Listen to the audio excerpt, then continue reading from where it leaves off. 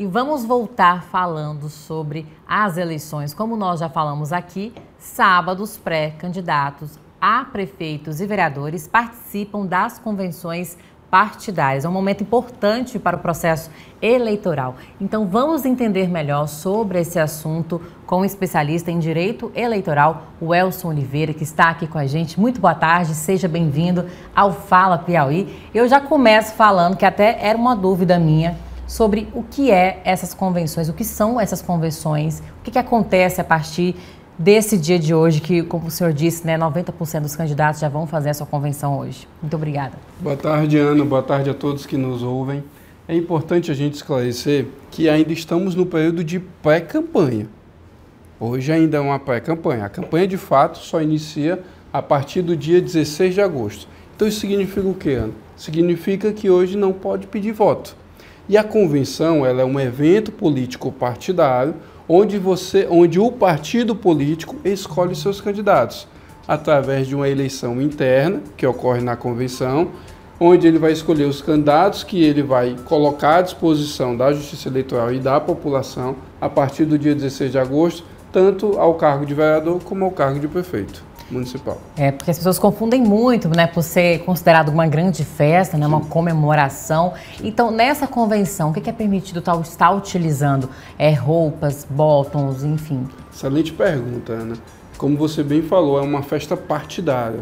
É uma festa onde se há homologação da escolha do candidato. Então, se pode ter tudo de partido político. Pode-se ter cartazes do partido político, pode-se ter camisas do partido político, pode-se ter é, bandeirinhas do partido político. Qual é o cuidado que os pré-candidatos devem ter? Eles não podem levar, um exemplo, uma faixa com seu número de candidato a vereador. Por quê? Porque é lá na convenção que vão escolher. Então, como é que ele está sabendo do número dele antes da convenção?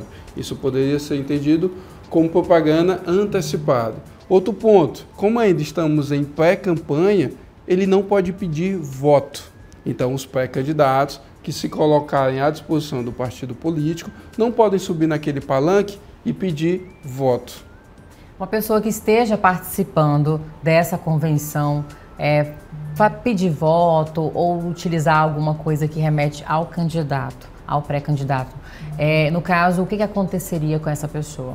Vamos lá o, vai ter nessas convenções filiados, os convencionais, simpatizantes, é, pessoas que acreditam naquela campanha.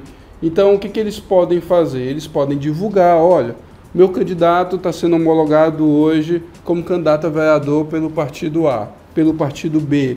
O que, que esse eleitor deve ter cuidado? Ele não pode pedir o voto também nesse momento porque é um momento de homologação de candidaturas. Por quê, Ana? Hoje é feita a homologação das candidaturas. A partir de amanhã, inicia-se o período de registro de candidatura, que é quando cada candidato escolhido nessa convenção, que vai estar presente na ata dessa convenção, vai registrar a sua candidatura junto à Justiça Eleitoral.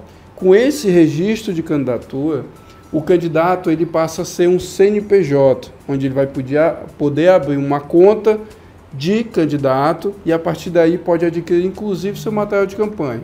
Mas devemos ressaltar que esse material de campanha só pode ser utilizado a partir de 16 de agosto.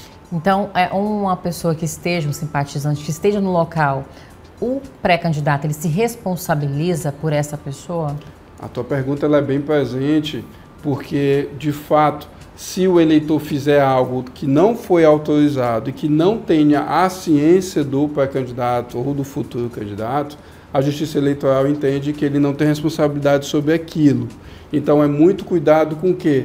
Que os pré-candidatos tenham com as repostagens de rede social, com o que vai divulgar na legenda das suas redes sociais, pois além do Ministério Público, os serventuários da Justiça Eleitoral e os concorrentes estão atentos às suas redes sociais. Inclusive as redes sociais, né, onde as pessoas fazem de forma discreta né, as suas, as suas é, campanhas. A gente até vê que os, os, os atuais gestores, eles até deram uma pausa, né, Sim. nas suas redes sociais por conta disso, né? Exato. O que você está se referindo quanto à pausa do gestor público na utilização das redes sociais institucionais é o que nós chamamos de conduta vedada. A partir do dia 6 de julho, fica proibido a utilização das redes sociais institucionais para a publicização de eventos institucionais. Então, aquele que é prefeito, aquele que é vereador, ele passa a utilizar somente as suas redes sociais pessoais. Momento em que ele também deve ter cuidado, porque até o dia 15 de agosto ele não pode pedir voto. Quanto às penas para quem descumprir, vamos falando assim de eleitor e também de pré-candidato. Perfeito.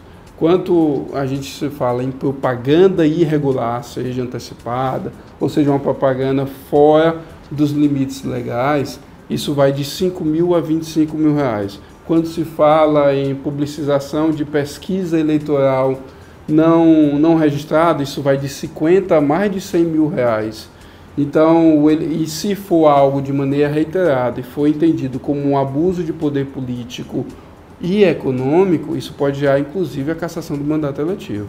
Mas, o senhor, como um especialista, o que o senhor recomenda a esses pré-candidatos aí que estão na caminhada? Eu recomendo que os pré-candidatos aproveitem hoje a festa partidária, é, desfrutem desse momento de homologação de suas candidaturas, mas com cautela, com cautela nos seus discursos, com cautela nas suas legendas das redes sociais, com cautela nas repostagens e uma coisa que eu sempre fiz muito bem todo candidato, para estar preparado, ele precisa ter um tripé muito bem formado, de assessoria jurídica, assessoria contábil e de marketing. Eles três bem alinhados, o erro passa a ser zero. Que é importantíssimo. Inclusive, pensa-se que não tá, ninguém está de olho, mas tá, as pessoas estão de olho. Assim, estão né? de olho, até porque, Ana Paula, as redes sociais é um tópico obrigatório para ser informado no momento do registro de candidatura à Justiça Eleitoral. Isso para quê? Para que a própria Justiça Eleitoral possa fiscalizar de perto.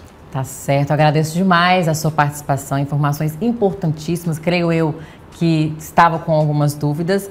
Sei que o pessoal de casa também estava, inclusive eu sei que tem pessoas ansiosas e já estão participando das convenções e agora vai saber como se comportar né, até chegar 16 de agosto. Muito obrigado, Ana Paula, estou à disposição. Obrigada mais uma vez.